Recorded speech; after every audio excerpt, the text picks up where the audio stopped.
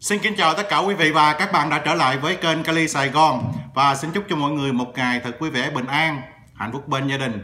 Nếu thấy thông tin này hữu ích cho Kali Sài Gòn, một cái like và nhấn nút đăng ký kênh dùm cho Kali Sài Gòn. Thành thật cảm ơn quý vị thật nhiều. Vâng, hôm nay à, thấy cái tin này cũng tốt cho đất nước Việt Nam của chúng ta, cho nên à, Cali Kali Sài Gòn mới à, muốn chia sẻ cùng với các bạn. nó cũng liên quan đến dịch Covid-19 đấy các bạn đây là tờ một tờ báo của à, Việt Nam Express. Có viết rằng và cũng có tờ báo Mỹ cũng có nói rồi. À, Mỹ hỗ trợ cho Việt Nam thêm 3 triệu liều vaccine Moderna. Đại sứ quán Mỹ thông báo nước này sẽ chuyển thêm 3 triệu liều vaccine Moderna cho Việt Nam thông qua liên minh GAVI theo Bộ Ngoại giao. Như vậy là đất nước Việt Nam của chúng ta à, đã nhận được 2 triệu rồi bây giờ nhận thêm 3 triệu liều vaccine nữa rất là tốt không à, quý vị đại diện đại sứ quán Mỹ tại Hà Nội hôm tháng 7 thông báo cho đại diện Bộ Ngoại giao về việc nước này sẽ hỗ trợ cho Việt Nam thêm 3 triệu liều vaccine Moderna thông qua Liên minh Toàn cầu về vaccine và tiêm chủng GAVI. Mỹ hồi tuần trước chuyển cho Việt Nam 2 triệu liều vaccine Moderna thông qua cơ chế COVAX của Tổ chức Y tế Thế giới là WHO, viết tắt là WHO. Quan chức chính quyền của Tổng thống Joe Biden cho biết mục tiêu là đảm bảo công bằng tiêm chủng toàn cầu, chấm dứt đại dịch ở khắp mọi nơi. Nhà Trắng tháng trước công bố kế hoạch chia sẻ vaccine cho thế giới. Trong đó 41 triệu liều sẽ được chuyển tới các nước thông qua cơ chế COVAX. 14 triệu liều được chuyển đến các quốc gia ở Mỹ, Latin và Caribe, 16 triệu liều cho châu Á và khoảng 10 triệu liều đến châu Phi. Mỹ cũng sẽ chuyển trực tiếp 14 triệu liều tới những quốc gia và khu vực có nhu cầu, trong đó có Việt Nam, Philippines và Iraq. Vaccine Moderna sử dụng công nghệ mRNA giống với Pfizer được WHO phê duyệt ngày 30 tháng 4, vaccine hiệu quả là 90%. Trong ngăn ngừa các ca nhiễm COVID nghiêm trọng, ưu điểm của nó là không cần bảo quản cực lạnh, giúp quá trình phân phối dễ dàng hơn. Theo nghiên cứu của các nhà khoa học Mỹ, vaccine Moderna hiệu quả cao với biến thể Delta được phát hiện đầu tiên ở Ấn Độ. Việt Nam đặt mục tiêu mua 150 triệu liều vaccine COVID-19 để tiêm cho 70% dân số. Tới nay đã có cam kết và ký hợp đồng khoảng 105 triệu liều. Trong số này gồm 38,9 triệu liều do chương trình COVAX tài trợ, 30 triệu liều. AstraZeneca ký hợp đồng với công ty cổ phần vaccine Việt Nam VNVC 31 triệu liều được Pfizer ký kết với chính phủ và 5 triệu liều Moderna ủy quyền cho công ty Zulin Pharma Việt Nam. Việt Nam đang đàm phán mua thêm 55 triệu liều vaccine, bao gồm 40 triệu liều Sputnik V và 15 triệu liều Covaxin do Bộ Y tế đàm phán với Ấn Độ. Tính đến ngày 12 tháng 7, Việt Nam đã nhận được khoảng 8 triệu liều vaccine COVID-19 sắp tới sẽ tiếp tục nhận thêm từ những nguồn đã đàm phán mà các nước và hãng sản xuất đồng ý chuyển giao sớm cùng những nguồn hỗ trợ của các đối tác song phương và tổ chức quốc tế. Đây là một cái điều mà rất mừng cho đất nước Việt Nam của chúng ta phải không các bạn? Theo mình nghĩ mà Moderna mà um, hỗ trợ 5 triệu liều vaccine đầu tiên á thì tốt cho đất nước Việt Nam mình lắm. Tại vì à, 5 triệu liều này sẽ đầy đủ cho những người làm tuyến đầu như là bác sĩ y tá những người mà trực diện với lại à, bệnh nhân đó thì 5 triệu liều này là là đủ cho những người đó để những người đó có thể giúp những người khác được nữa. Thành phố Hồ Chí Minh nâng mô hình điều trị Covid-19 lên 5 tầng. Sở Y tế thành phố Hồ Chí Minh thay đổi mô hình tháp 4 tầng điều trị Covid-19 lên 5 tầng. Với tầng mới là các khu cách ly tạm thời F0 tại quận huyện trong khi chờ kết quả xét nghiệm PCR. Mô hình 5 tầng được Sở Y tế Thành phố Hồ Chí Minh công bố ngày 22 tháng 7 nhằm điều chỉnh kế hoạch thu dung và điều trị COVID-19 trong bối cảnh số ca nhiễm tiếp tục tăng cao. Tương ứng số ca nặng, nguy kịch và tử vong được dự báo tiếp tục tăng. Tính đến hết ngày 21 tháng 7, thành phố ghi nhận hơn 35.000 trường hợp F0 với 2.106 người bệnh cần hỗ trợ hô hấp và 382 ca tử vong. Đến sáng 23 tháng 7, số ca nhiễm đã được công bố tại thành phố Hồ Chí Minh hơn 48.000 ca. Tầng 1 là tầng mới với các cơ sở chăm sóc và theo dõi sức khỏe F0 tại địa bàn quận huyện và thành phố Thủ Đức. Thủ Đức theo đó các ờ, F0 không có triệu chứng, không bệnh nền, chưa được điều trị ổn định, không béo phì, được cách ly tập trung tại các cơ sở trên địa bàn quận và huyện. Các khu cách ly tập trung F0 này được, vừa chính quyền thành phố Hồ Chí Minh yêu cầu triển khai từ ngày 21 tháng 7.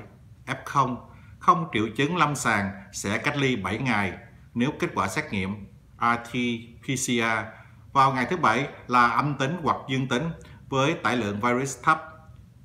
Giá trị CT 30 Trường hợp dương tính có CT 30 sẽ xét nghiệm nhanh, kháng nguyên mỗi 2 ngày. Khi kết quả này âm tính cho phép người bệnh tiếp tục cách ly theo dõi tại nhà. Với F0 mới phát hiện không có triệu chứng lâm sàng, ngành y tế xem xét cách ly tại nhà nếu kết quả xét nghiệm PCR có giá trị CT30 và họ đủ điều kiện theo quy định của ngành y tế. Các cơ sở tầng 1 có nhiệm vụ sàng lọc người bệnh COVID-19, không có triệu chứng với kết quả xét nghiệm đủ điều kiện để đưa về giám sát y tế tại nhà. Nơi lưu trú theo quy định.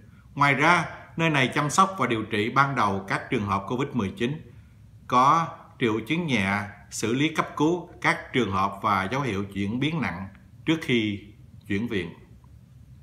Những nơi này sẽ được bổ sung trang thiết bị cơ bản như bình oxy, dụng cụ để thở, bình làm ẩm, máy tạo oxy, máy đo độ bảo hòa oxy trong máu ngoại vì SpO2, máy thở đơn giản, dụng cụ cấp cứu cơ bản và một số thuốc điều trị cơ bản như hạ sốt. Thuốc kháng viêm dạng uống, thuốc kháng đông sử dụng trước khi chuyển viên các trường hợp có nguy cơ chuyển nặng. Dự kiến tầng 1 tiếp nhận khoảng 50% trong tổng số trường hợp F0 sử dụng các cơ sở hạ tầng sẵn có địa phương như khu ký túc xá của trường học, khu chung cư mới chưa đưa vào sử dụng khách sạn, nhà nghỉ hoặc trường học. Tầng 2 là các bệnh viện giả chiến thu dụng điều trị COVID-19 dành cho F0 mới phát hiện trong cộng đồng, được sàng lọc và chuyển đến các cơ sở chăm sóc và theo dõi sức khỏe các trường hợp F0 tại địa bàn quận, huyện và thành phố Thủ Đức. Tầng này điều trị các F0 có triệu chứng và điều trị các bệnh lý nền kèm theo, xử lý cấp cứu các trường hợp có dấu hiệu chuyển biến nặng trước khi chuyển viện. Bệnh viện giả chiến sẽ được bổ sung thêm nguồn oxy với dụng cụ trang thiết bị thở oxy, máy SFNC, máy thở đơn giản, máy đo độ bảo hòa oxy trong máu ngoại vi SpO2, máy chạy thận nhân tạo tại một số bệnh viện, monitor theo dõi sinh hiệu, máy X-quang di động và một số thuốc điều trị cơ bản, thuốc điều trị một số bệnh nền phổ biến như tăng huyết áp, đái tháo đường, thiếu máu cơ tim.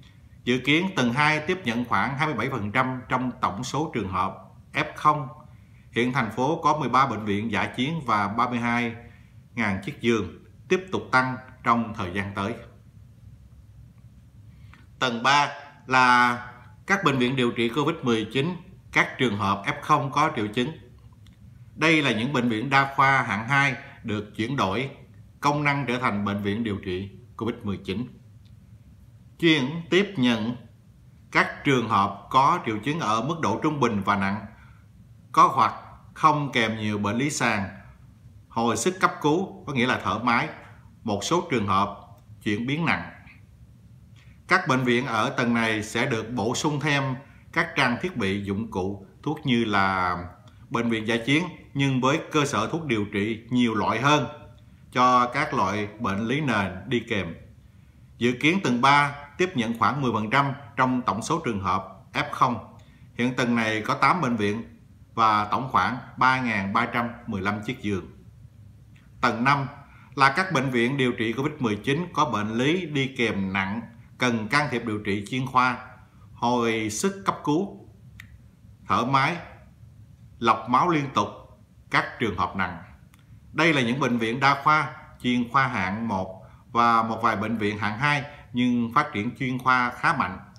Ngoài các trang thiết bị như tầng 3, các bệnh viện này bổ sung máy thở chức năng cao, máy lọc, máy lọc máu liên tục, đảm bảo điều trị cho F0.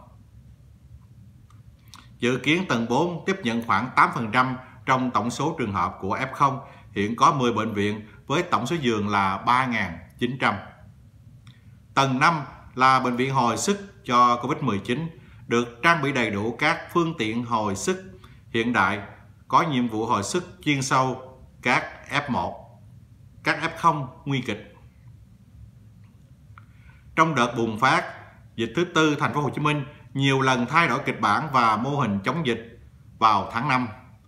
Khi mới nhận 3 ca nhiễm, thành phố Hồ Chí Minh xây dựng 3 kịch bản y tế ứng phó trong đó tình huống nghiêm trọng nhất là 5.000 ca bệnh. Rất nhanh sau đó, số ca nhiễm của thành phố vượt xa tình huống này, ngành y tế áp dụng chiến lược tháp 3 tầng và điều trị. Sau nửa tháng mô hình tháp 4 tầng được thay thế, trước tình trạng lượng bệnh nhân tăng gần 500%, trong đó bệnh viện hồi sức COVID-19 với 1.000 giường thuộc tầng thứ tư dành cho bệnh nhân nặng và nguy kịch thay thế mô hình điều trị 3 tầng ở Bắc Giang và thành phố đã áp dụng hiện trở thành tầng 5. Vâng, đó là những gì mà sơ lược qua về à, mô hình điều trị Covid-19 lên tầng thứ 5 của thành phố Hồ Chí Minh. Cảm ơn tất cả các bạn cùng với lại Cali Sài Gòn chia sẻ một chút ít thông tin à, dịch bệnh tại à, Việt Nam. Và um, vaccine của Mỹ Moderna đã um, gửi tới cho Việt Nam chúng ta thêm à, 3 triệu liều nữa. Vì là tổng cộng là tất cả là có tới 5 triệu liều vaccine mà Mỹ đã gửi cho Việt Nam. Và theo như à, không lầm thì à, đến ngày 25 thì à, Việt Nam chúng ta sẽ nhận được số vaccine của Mỹ à, hỗ trợ Cảm ơn tất cả các bạn đã cùng với lại Kali à, chia sẻ những thông tin về Covid-19. Xin chào và hẹn gặp lại.